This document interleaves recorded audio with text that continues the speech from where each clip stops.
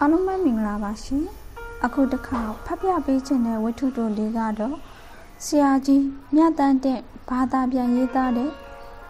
မတာခေါင်းတစ်လုံးအသက်တစ်ချောင်းဝတ္ထုတိုလေးပဲဖြစ်ပါတယ်အားလုံးလည်းကြိုက်နေတဲ့မယ်လို့ညွှန်လင်းမိပါတယ်အားလုံးကိုကျေးဇူးတင်ပါတယ်ရှင်မတာခေါင်းတစ်လုံးအသက်တစ်ချောင်းဘာသာပြန်မြတ်တန်တဲ့ ရွာနှင့်မနီးမဝေးတွင် ရှောင်းနှစ်သွေသည်ပေါင်းဆောင်ကြ၏ချောင်းရည်ကပြာလေးလေးကြည်လင်လင်အဝေးကနေကြည့်ရင်ဖဲကျိုးနှစ်ရှောင်းကိုပြစ်ရှထားသည်နှင့်မိုးတွင်းဆိုလျင်တောင်ကြရည်ဆင်းသဖြင့်ရှောင်းနှစ်သွေသည်ခါတိုင်းလိုကြည်လင်ခြင်းမရှိတော့ရေသည် နောက်ကြည့်ဝါဝင်းနေတတ်သည် တောင်ကြရည်များသည်တဟုန်တို့စီးဆင်းလာက ရှောင်းကန်းနှစ်ဘေးကရွာများစကြဲများတိုးအောင်များကိုလွှမ်းသွားတတ်သည်ထိုအခါမျိုး၌ကြည်လျာအရက်တွင်ရေတွေဖွေးလျက်ရွာနရာကျွားကြားတွင်စိန်လန်းသည့်စကြဲများရှိသည်တိုးအောင်များလည်းရှိသည်တခါတရံတည်းတေးစုကလေးများကလည်းဟိုတစုဒီတစုတွေ့ရတတ်သည်မိုးကုံခါနေဖြစ်သည့်တိုင်တောင်ပေါ်တွင်မိုးကောင်းနေသဖြင့်ချောင်းရည်သည် အမြဲလိုလိုနောက်ကြည့်ဝင်းဝနေတတ်သည်တခါတရံတောင်ပေါ်တွင် မိုးသေးလျင်တောင်ကြရည်သည်တဝုံဝုံအတန်မီကစီးဆင်းလာစမြည်တညနေတွင် ကျွန်တော်သည် ရွာမှထွက်၍တောင်ကြရည်ကြည့်ရန်ရှောင်းကမ်းမသို့ရှောက်လာခဲ့သည်ခေါင်းပေါ်တွင်ငှက်တို့ကလူးလာပြန်ဝဲလျက်ရှောင်းဆက်သို့ရောက်လျင်ကန်းဆက်တွင်ငူငူကြီးထိုင်နေသည့်အဖိုးကြီးတယောက်ကိုတွေ့ရ၏အဖိုးကြီးကောင်းတွင်ဆောင်းเสียမှာပါ အင်ဂျီလက်တို့ကလေးကစုပ်ပြေးစားပြုပြီးအဖိုးကြီးသည်မေးကိုလက်နဲ့ဖဲဖြင့်ထောက်ရင်အဝေးသို့ကြည့်လျက်ရှိသည်တဟုန်ထိုးစီးဆင်းနေသည့်ချောင်းရည်ကိုကြည့်ပြီးရေကတိုင်းရှုနေသည်လားမဆိုနိုင်မှိုင်းပြနေသည့်ကောင်းကင်နှင့်စိမ့်ညို့နေသည့်တောအောင်များနောက်ခံတွင်သူထိုင်နေပုံကိုကြည့်ရသည်မှာကြာရုပ်တရုပ်နှင့်ပင်တူတော့သည်အဟုန်ပြင်းစွာစီးဆင်းနေသည့်ချောင်းရည်ကိုကြည့်ပြီး ကိုကိုကိုအဆုံးစီရင်ရန်စဉ်းစားနေခြင်းလည်းဖြစ်နိုင်သည်ကျွန်တော်သည်အဘိုးကြီးအနီးမှနှစ်ကြိမ်တိုင်ဖြတ်လျှောက်ရင်းသူ့အရှင်နေကိုအကဲခတ်ကြည့်သည်တို့ကလိုကျွန်တော်အကဲခတ်နေစဉ်အတွင်းအဖိုးကြီးသည်ထိုင်ရာမှစခနေထကသူ့အင်ကြီးကိုရွှတ်လိုက်ပြီးနောက်ချောင်းတဲသို့ခုန်ဆင်းလိုက်သည်ကျွန်တော်သည်သူ့ကိုကြည့်ရင်လာကြပါအောင်ပြောလူတယောက်ရေထဲခုန်ဆင်းလို့လာကြပါအောင်ဟုအတန်ကုန်အော်၍အကူအညီတောင်းသည် တို့ရာတွင် ထိုအနီးတဝိုက်တွင် လူသူရှင်းလျက်ရှိသဖြင့်ကျွန်တော်အတန်ကိုမြည်သူမြကြားမယ်မထင်ပါရေတံများကတဟဲဟဲအော်မီလျက်လူရှိသည့်တိုင်ကျွန်တော်အတန်ကိုကြားဖို့မလွယ်ကူပါခဏကြာ၍ရေတွေသို့လှမ်းကြည့်လိုက်သည့်အခါတွင် ကျွန်တော်အထင်နဲ့အမြင်တက်တက်စင်အောင်လွှင်းနေသည်ကို တွေ့ရသည် အဖိုးကြီးမှာအတော်ရေကူးတန်သူဖြစ်သည် ရေကိုဆန်၍ ကိုလျက်ရှိသည်ကိုတွေ့ရ၏တေးသေးချာချာကြည့်လိုက်သည့်အခါအဖိုးကြီးသည်ပြင်ပြတစ်ချက်ကိုလိုက်ဆင်နေခြင်းဖြစ်ကြောင်းတွေ့ရသည်ရေကူးတန်သူဖြစ်သည့်အတွက်ပြင်ပြကိုတွေ့မိကကန်းသို့ကူးလာသည်ကိုလည်းတွေ့ရ၏တို့လိုပါကြီးဒီတမအဖိုးကြီးမှာ no nos queda mucho tiempo más. Te quiero perder lo que queda. Seguimos siempre la pasión y confiamos solo en el amor. Yeah. No quiero perder lo que queda. Y más y más allá. A través de la gran oscuridad hasta que me convierta en rayos. Y más y más allá.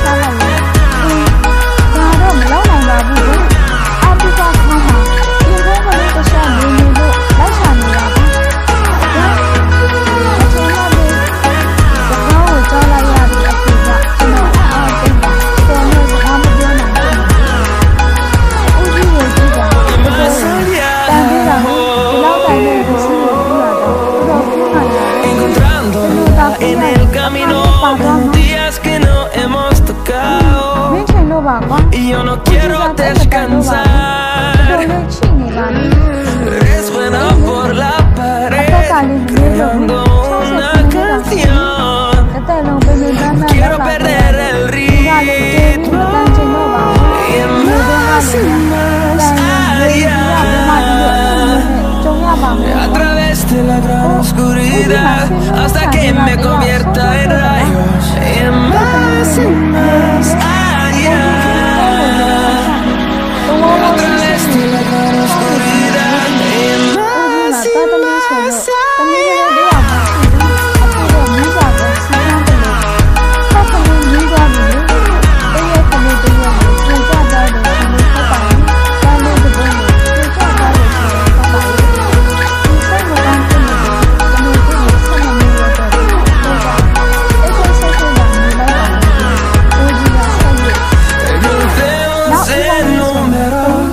en solo un trueno de horizontes. Seremos ကြည့်ရရအ miles. ရက်အမောင်းလေးတွေ့ Crecemos en número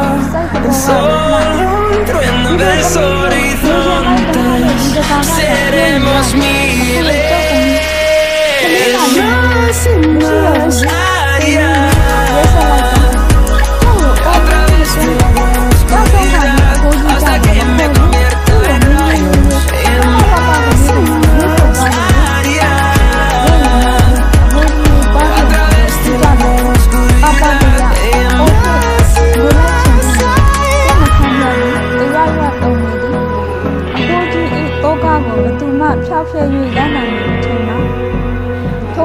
ကြောင့်ကျွန်တော်ကလည်းဘာမှမပြောဘဲ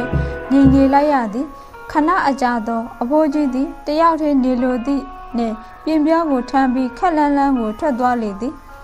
ကျွန်တော်သည်ဘာမှမပြောဘဲအဖိုးကြီးနောက်မှလိုက်လာခဲ့လေသည်ရှုံးဆက်တနေရာသို့ရောက်လျင်အဖိုးကြီးသည်ပြင်ပြောကိုထမ်းလာရာမှအောက်သို့ရှရန်ပြင်နေစီကျွန်တော်ကမနေနိုင်သဖြင့်ပြင်ပြောကိုကူ၍အောက်သို့ရှပေသည်အင်းကျေးဇူးပါပဲဗျာ မောင်မင်းကြီးသားဖုန်းကြီးလို့အသက်ရှည်ပါစေအသက်ကြီးတဲ့သူကိုကူညီတယ်ဆိုတာကုသိုလ်ရပါတယ်ကွယ်ကျုပ်သမီးလေးဟာအသက်ကြီးတဲ့လူကိုကူညီရင်တည်သားရတာကွယ်တကယ်တော့ကျုပ်သမီးလေးမေရီကိုကျုပ်တတ်တာသူ့ကိုအလောက်တွေမညာမတာခိုင်းလို့ဒမ်းပိပြီးတည်ရတာ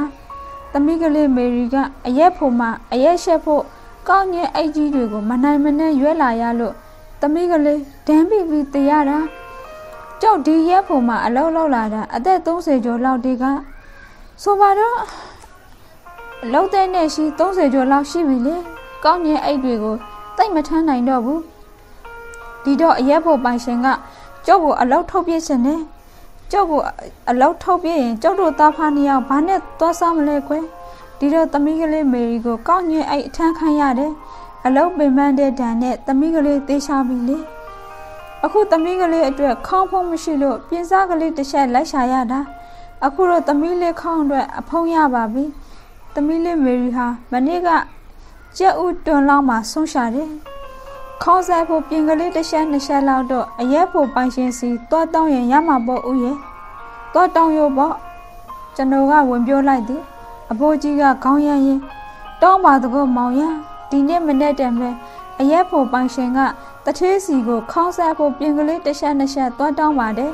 ဒါပေမဲ့မရခဲ့ပါဘူးသူတို့မှပြင်တို့ပြင်စအလွယ်တကူမရှိဘူးတဲ့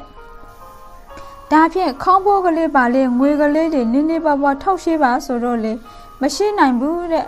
အဖိုးကြီးကအိုဘီတဲ့ဒီပတ်စံကိုဘယ်နဲ့လောက်ပြီးပြန်ဆက်မလေးတဲ့သူတို့ဘက်ကကြည့်တော့လေဟုတ်တာပေါ့လေဒါနဲ့ဦးကြီးလေးအရက်ဖုန်နာတရက်ဝဲဝဲလောက်ပြီး နေ့လေလူချင်းချင်းကြတော့အရက်ဖုန်နာကပြင်တို့ပြင်စားကလေးတစနစဝင်ဆွဲပြီးရဲ့ဒီတမိသွားလို့ဦးကြီးရဲ့မျက်နှာတုပ်ပေါ်ဝါနဲ့ခမောက်ကလေးတောင်ယူထားလိုက်တယ်ဒီနာကရှမ်ပိုင်ရှင်များရှိလို့အကူညီတောင်းမယ်ဆိုပြီးထွက်လာတော့လေရှမ်ပိုင်ရှင်များကမရှိကြဘူးမြို့ကိုတက်သွားကြတဲ့ဒါနဲ့ရှောင်းကန်းပေါက်မှာထိုင်နေတော့ချောင်းထဲမှာပြင်းပြတစ်ချက်နှစ်ချက်မျိုးလာတာတွေ့တာနဲ့လိုက်စီတာ ဖျားမတာပေါ့လေအခုတော့တစ်ချက်ရပြီနောက်တစ်ချက်လောက်ရရင်လုံလောက်ပါပြီဖျားသခင်ကိုတော်မြတ်ကြီးကတော့နောက်တစ်ချက်လောက်ပေးအောင်ပါပါလေစကားပြော၍မဆုံးမီအဖိုးကြီးသည်ထိုင်ရာမှထကရှောင်းဆက်သို့ပြေးဆင်းသွားသည်ပြော့ဦးကြီးမစင်းပါနဲ့ခေါင်းဘိုးကိုကျွန်တော်ပေးပါမယ်ပြန်ခဲ့ပါကျွန်တော်ကအိုခိုလေသည်တို့ရာတွင် အဖိုးကြီးသည် လူငယ်လေးတစ်ယောက်နှင့်ရှောင်းဆဲစီသို့ပြေးဆင်းသွားသည် အခြားကြောင့်မဟုတ်ချောင်းရည်သေးတွင်မျောပါလာသည့်ပြင်စားများကိုမြင်လိုက်ရသောကြောင့်ဖြစ်သည်အလိုရှိတုံးတွင်ဘုရားသခင်ကပေးလိုက်သည့်ပြင်ပြားစများပေတကားတို့ရာတွင်ဒီတစ်ကြိမ်တွင်မူရေကူးတန်သည့်အဘိုးကြီးကံမကောင်းရှာပါအဟုန်ပြင်းစွာဖြင့်စီးဆင်းလာသည့်ရှောင်းရည်များသည် အဖိုးကြီးကိုဆွေးနှေးလိုက်ကြလေပြီသူ့သောကနှင့်အသက်သည်ဏိဂုံသို့ရောက်လေပြီမြတ်တန်တင့် အားလုံးကိုကျေးဇူးတင်ပါတယ်ရှင်